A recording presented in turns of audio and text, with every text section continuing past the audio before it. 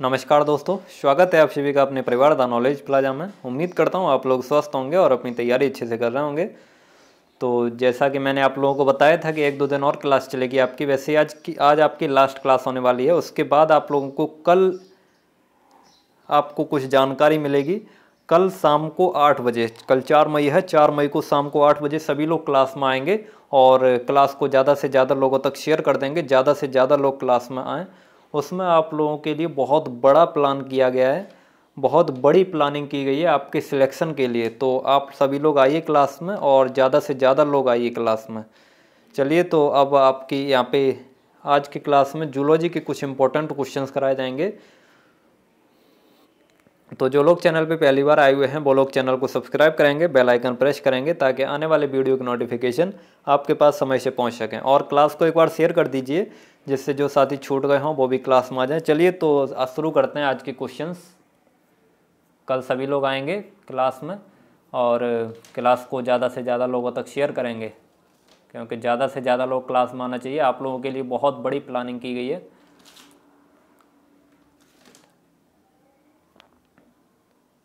यहाँ तक आपके करा दिए गए थे। वो जो प्लानिंग की गई है, उस जब, जो, जब तक हम कराएँगे, तब तक जो बच्चा टिका रहा वहाँ पे, मैं बता रहा हूँ कि उसका बहुत अच्छी रैंक के साथ सिलेक्शन होगा। वो सब आपको कल ही पता चलेगा। कल आप सभी लोग आइए, क्या उसमें प्लानिंग की है। तो कल सभी लोग आइए आठ बजे। चलिए अब आप यहाँ पे क्वेश्चन शुरू करते हैं। एक वर्णांध पुरुष एक सामान्य महिला से विवाह करता है। वर्णांधता के लक्षण उत्पन्न होंगे उसके।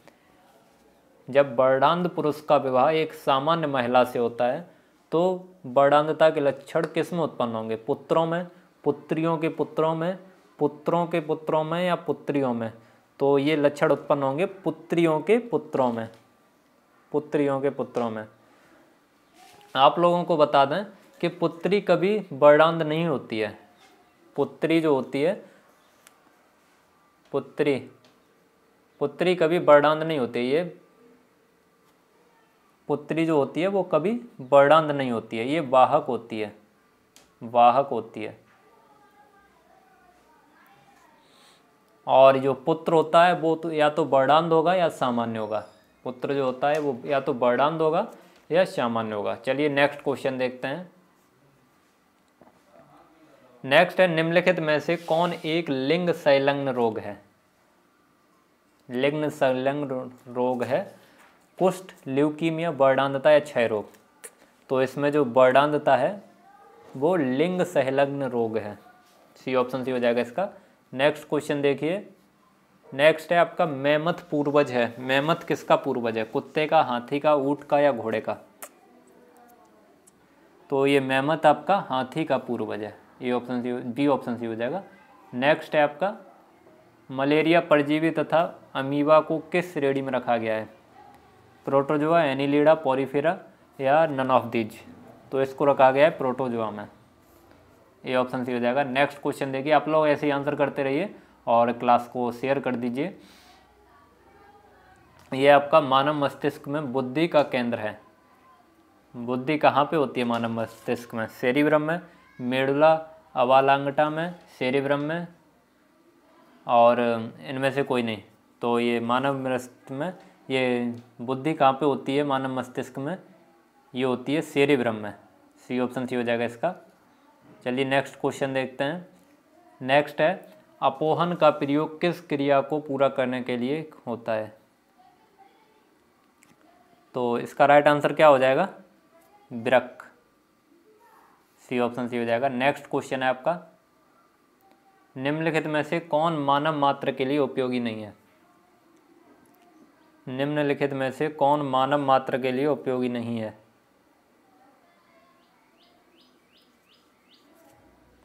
तो उपयोगी नहीं है, इसमें इसका राइट आंसर हो जाएगा फीता क्रम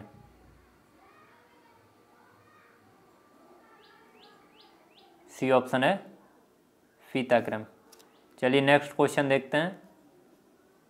जीवों के प्राकृतिक चयन का सिद्धांत प्रतिपादित किया। जीवों के प्राकृतिक चयन का सिद्धांत किसने प्रतिपादित किया था? तो ये किया था डार्विन ने।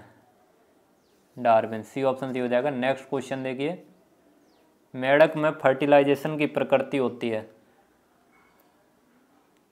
तो मेढक में फर्टिलाइजेशन की प्रकृति बाह्य होती है। मतलब बाहर फर्टिलाइजेशन होता है मेढक में। नेक्स्ट है आपका। किस रुधिर वर्ग में दोनों एंटीबॉडी पाई जाती हैं? देखो, एक एंटीजन होता है, एक एंटीबॉडी होती है। तो कौन से ब्लड ग्रुप में दोनों एंटीबॉडी पाई जाती हैं? तो ये है ओ ओ ब्लड ग्रुप जो होता है, वो उसमें दोनों एंटीबॉडी पाई जाती हैं और ओ में एंटीजन एबसेंट होता है। ओ में एंटीजन एबसेंट होता है और ए बी में एंटीबॉडी एबसेंट होती है। एंटीबॉडी ए बी में एंटीबॉडी एबसेंट होती है और ओ में एंटीजन एबसेंट होता है। ओ में दोनों एंटीबॉडी पाई जाती है। चलिए नेक्स्ट क्वेश्चन देखते हैं। ऑक्टोपस है एक। ऑक्टोपस क्या है?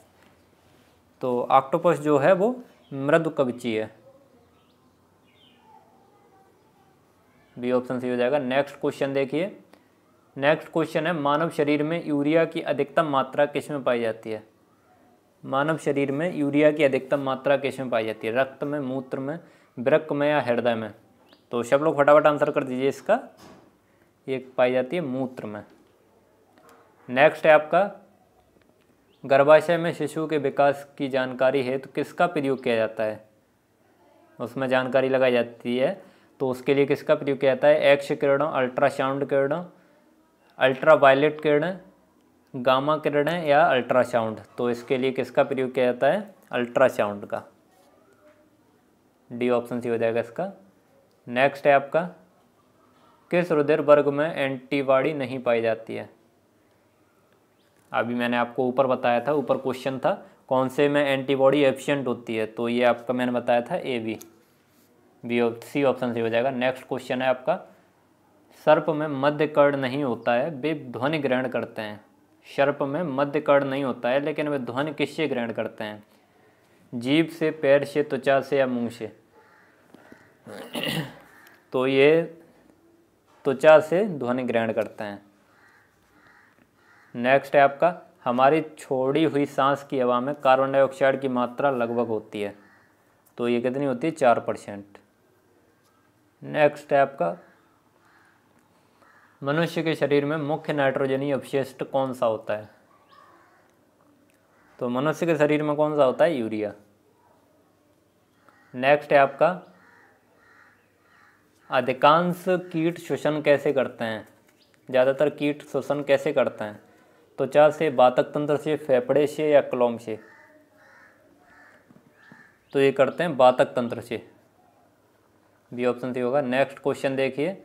आप लोग ऐसे ही आंसर करते रहिए फटाफट। ये आपका बर्डानता वाले व्यक्ति को लाल रंग दिखाई देगा। जिसको बर्डानता होगी, उसको लाल रंग, नीला, बैंगनी, हरा या पीला कैसा दिखाई देगा? तो लाल रंग जो होगा वो हरा दिखाई देगा।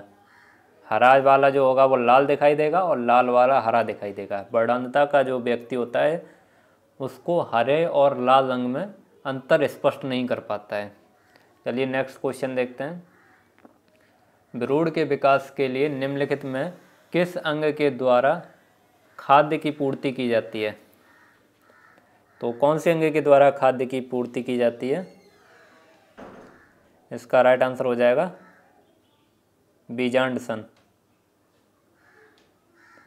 डी ऑप्शन सी हो जाएगा। नेक्स्ट क्वेश्चन देखिए। नेक्स्ट क्वेश्चन है समझात अंग होते हैं। समझात अंग होते हैं, रचना में अशमान। नेक्स्ट है आपका, मधुमक्खियों का पालन कहलाता है। मधुमक्खियों का पालन क्या कहलाता है? शेरीकल्चर पीसीकल्चर हार्टिकल्चर या एपीकल्चर तो मधुमक्खी पालन जो होता है, उसको एपीकल्चर बोलते हैं। नेक्स्ट क्वेश्चन है क्रेफ चक्र में किसका संश्लेषण होता है? क्रेफ चक्र में किसका संश्लेषण होता है? पायरविक अम्ल, फ्यूमेरिक अम्ल, लैक्टिक अम्ल या इनमें से कोई नहीं।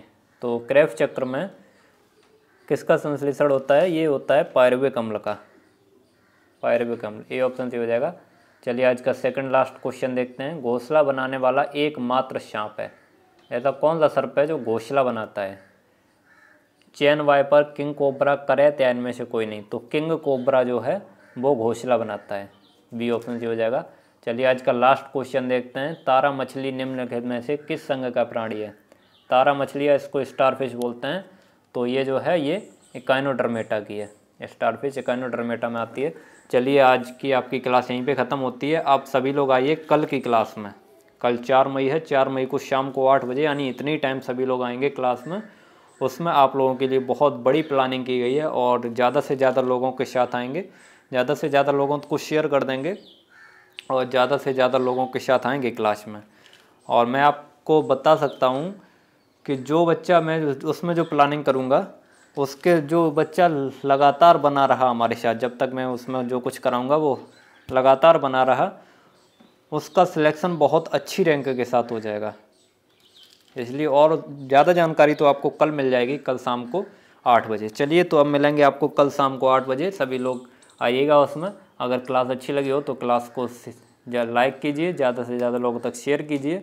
और जो लोग चैनल पर पहली बार आए हुए हैं, वो लोग चैनल को सब्सक्राइब करेंगे, बेल आइकन प्रेस करेंगे, ताकि आने वाले वीडियो की नोटिफिकेशन आपके पास समय से पहुँच सकें। चलिए तो हम मिलेंगे आपको कल की क्लास में। तब तक के लिए जय हिंद बंदे मातरम।